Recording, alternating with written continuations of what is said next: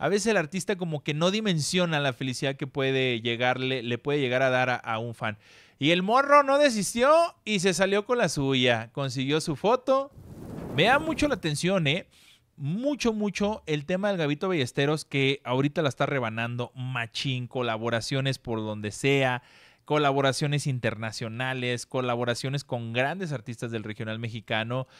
De verdad, creo yo que uno de los mejores momentos para el Gavito Ballesteros eh, es el que estamos viviendo ahorita. Y algo que me llama particularmente la atención es el tema de cuántos morros, morros,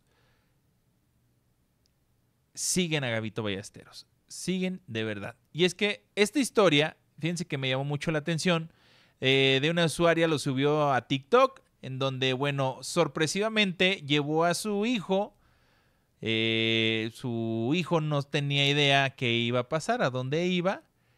Mm, después se entera que iba a estar en el palenque viendo a Gavito Ballesteros como parte de su cumpleaños. Miren, la reacción de este morrillo. Qué chido, al final del día, cuántas veces un artista no nos ha emocionado, ¿no? Cuántas veces hemos tenido algún fan, hemos sido fan de alguien y pues cuántas veces también no, no, nos ha tocado conocerlo y emocionarnos así como lo hizo este morrillo. Pues bueno, su jefa, su mamá lo llevó acá medio a la discre por su cumpleaños, lo lleva al concierto al palenque de fiestas de octubre de Guadalajara.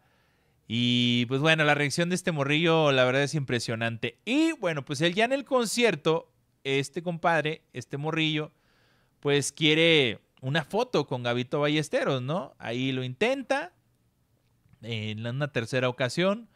Pues obviamente si estaba un poco lejitos, no lo iba a ver. Y pues bueno, pues él estuvo ahí disfrutando el concierto. Eh, como muchos, como todos los asistentes, recuerda que este evento estaba totalmente lleno. Y en varios intentos, en varias ocasiones, eh, pues decide eh, pues pedirle la foto hasta que una mesera, una persona que, trabaja ahí eh, en el palenque, lo lleva, lo lleva hasta la zona y pudo hacer esto, oye, qué chido.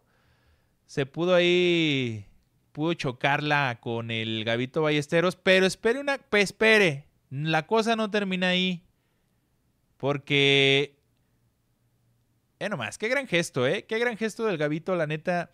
Eh, porque a veces a veces el artista, no lo digo por Gavito, pero lo digo en general, a veces el artista como que no dimensiona la felicidad que puede llegarle, le puede llegar a dar a, un fan. Y el morro no desistió y se salió con la suya. Consiguió su foto. Ahí está, bien contento y bien feliz.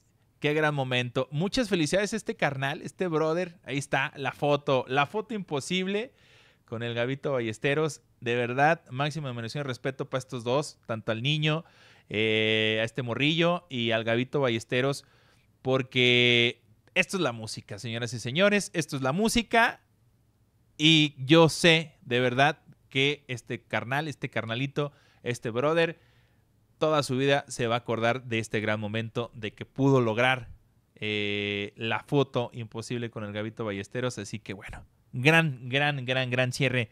Gran cierre de nota con esto del Gavito Ballesteros que me llama mucho la atención, lo vuelvo a decir, el cariño, sobre todo de los más morros. Mucho morro le lo sigue.